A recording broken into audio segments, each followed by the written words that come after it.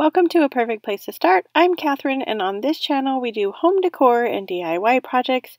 Today I have a fun video filled with thrifted items that I'm going to recreate into a shabby country farmhouse look. So if that sounds like something you're into, stick around, like, and subscribe. So for this first project we're going to be creating a birdcage sign and I found this um, sign at the DI when I was in Utah. If you've never been to a DI, it's similar to a Goodwill. And all I did was give it a few coats of my folk art white chalk paint. And then I have this bird cage stencil. I got it at um, Michael's about a year ago or so. Um, and then I'm just going to use some ink by Waverly chalk paint and do the stencil. There's something so satisfying about picking up the stencil and it looking good. So once I get that picked up, I'm going to take my stencil brush with some more of the ink by Waverly chalk paint and I'm just going to go around the entire um, sides of the sign. I left a big spot up at the top because I have a big bow to put here and so I didn't want to put anything else. This stencil set also comes with birds and so you could actually put birds inside the bird cage if you wanted to. Now I have this bow left over from a previous project and if you want to see how I made it I will list, link that down in the description box and up here in the cards. But here is this piece styled in some decor.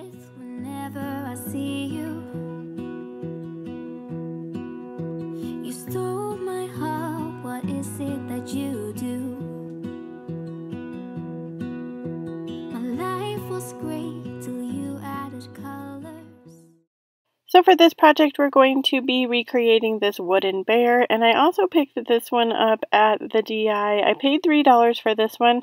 I also paid $3 for the previous project that you just saw, and I'm just going to remove this really old ribbon that was attached to his neck, and then I'm going to paint him with some white folk art chalk paint. So I'm just going to cover his whole body. This did take me a little bit because I wanted to get all of the side pieces and then I had to move his legs and arms up and down just to make sure that I could get in the creases. I didn't see a way to detach his arms and legs and I didn't want to break him so I just went ahead and painted it that way. Once I finished that I took this really light ballet slipper. It's like a really light pink color from folk art and I'm going to do his nose and then I'm going to go ahead and do a portion of his ear. I thought it would be fun to maybe give him some blush, but I didn't really like how the blush turned out, so I just kind of painted over that with some white paint. So I do go ahead and leave his ear and his nose because I think that that turns out really adorable. This is a really super light pink color, so if you wanted it to be a little bit darker, you could go with a darker pink. You could also mix in some white paint, and that would give you like a desired pink color that you were going for. So then I took some Antique Waverly Wax and my chippy brush and I'm just going to go pretty much over all of the sides of the bear, uh, the sides of his arms and legs, and then I do really lightly go over his whole body and I do do both sides. Once I have that part done, I took some ribbon that I got from the Dollar Tree, and this is just that really light uh, celery color along with the farmhouse ribbon. And then I'm going to go ahead and I do just put them together and loop them together so then they're tied together into that bow. And then I take my scissors and I'm just going to go ahead and cut the each of the ribbons up in a diagonal to give it a more finished look. You could also dovetail the ends here if you wanted to. Um, and then that is it for this project. Here he is styled in some decor. Like the sun, we don't care about the others. You set my world on fire. You're my heart's desire. Hi friends, are you enjoying today's video? I hope so. And if you are and you haven't hit that like button yet, go down, hit that like button. It really helps my channel grow and be seen by other people. So for this project, we're going to be recreating this rocking horse, and I just thought this piece was absolutely adorable. He was also $3. I also got him at the DI, and all I'm going to do is I'm going to take off some of this ribbon that was attached to his tail, and the tail is like a uh, jute rope that was like unknotted and tied together there. So he was painted white at one time, and I keep calling it a he, but I actually turned it into a she. but it was painted white at one time or a cream color, but it was very faded, and so I just gave it a much needed coat of my white folk art chalk paint and then I'm taking some ribbon and I'm going to make a shabby bow. My uh, rose ribbon was too uh, wide so I went ahead and took some scissors and just cut that down the middle. You can't even tell once the bow gets on there so that's what I really love about these shabby bows. I also picked up this heart uh, lace ribbon from Hobby Lobby and I just uh, put that in with my uh, rose ribbon, which also came from Hobby Lobby. And then I'm going to go ahead and dovetail all the ends. And then I'm going to glue this one to the back of his tail. So I don't want any of my twine showing where I tied it off into the middle of the ribbon, so I decided to go ahead and use one of my jewels from TotallyDazzled.com. Now you could put anything here, buttons, I thought about pearls too, but they just weren't quite big enough to cover that piece. Another piece of ribbon over the middle also looks really nice too. So once I get that bow glued on there, I kind of fluff out the tail, and then I'm going to add another bow to the front of the horse using that same same ribbon and I did cut this one in half because it was just kind of too thick for this um, like size of horse. So I uh, crisscross it, glue it there, and then I created another bow to glue on top of that that I just folded over, glued, and tied with some twine and then I'm going to glue it into the middle of that crisscrossed bow, then it looks like the tails of the bow. And then I'm going to go ahead and attach another one of my Totally Dazzled jewels right into the middle there. It gives it a little added touch and this horse gets lots of bling and I think it turned out so adorable. Here it is styled in some decor.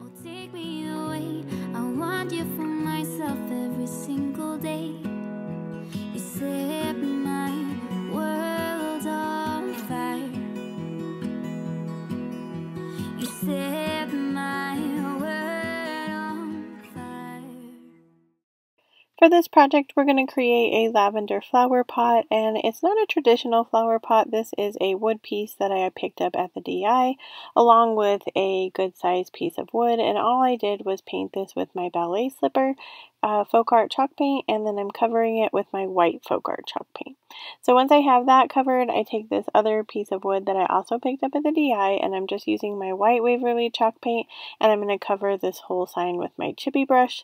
Once I have that completed, I'm going to glue my flower pot down into the bottom center of this wood piece. So we're going to um, be creating a flower arrangement inside the top of this pot. I do go ahead and go over my pot a little bit later with some antique Waverly wax along with the big piece of wood. I did cover it with that as well using my chippy brush. So this little wood pot had three little holes in it so I went ahead and filled those three little holes with three stems of lavender that I picked up at Walmart.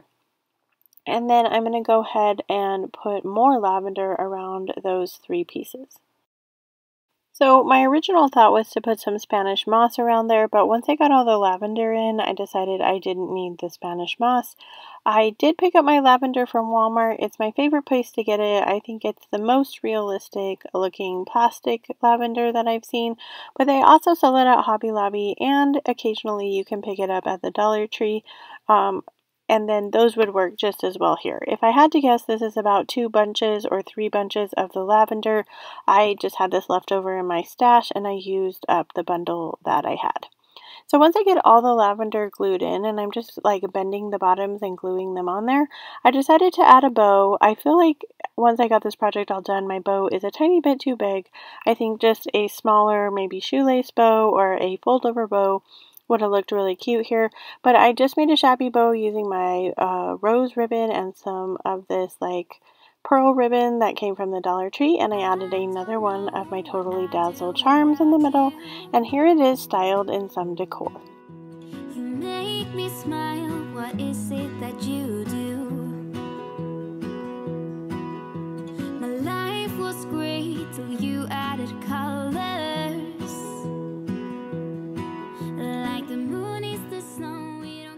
Did you know I'm on social media? You can find me on Pinterest, Instagram, Facebook, TikTok, and of course, YouTube. If you haven't subscribed to my channel, make sure you go down and do that now. For this project, we're going to make over this wooden carousel horse, and it looks like it had been toll painted at one time. I picked it up at a garage sale for $3, and it had kind of come apart. It looked like it had been wood glued at one time, but I covered it with about three coats of my folk art white chalk paint and then I'm using this Waverly stencil. I absolutely love this stencil. You can get it at Walmart. I am using the lavender chalk paint by Waverly as well and I have used this stencil one other time to create a birdhouse. If you missed that video I will post it here in the cards and down in the description box but once you pick it up it has this really beautiful pattern and it's just absolutely gorgeous. So then I'm going to take some of this purple grosgrain ribbon I had this in my stash, but you can pick this up at Hobby Lobby. And I'm just going to glue a little bow into the middle of the heart. And then I'm going to take a pearl from the Dollar Tree and glue that into the middle of the ribbon. Then I made another shabby bow using that purple grosgrain ribbon along with some white grosgrain ribbon.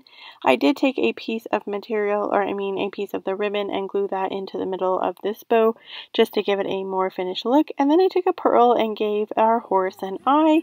And here he is styled in some decor. This is my favorite project of the day. I absolutely love how he turned out.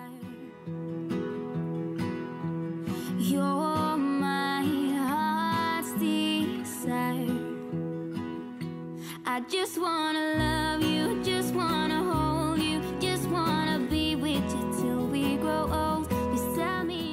If you have made it this far in the video, I so appreciate you and I'm so grateful that you stayed here to the end with me.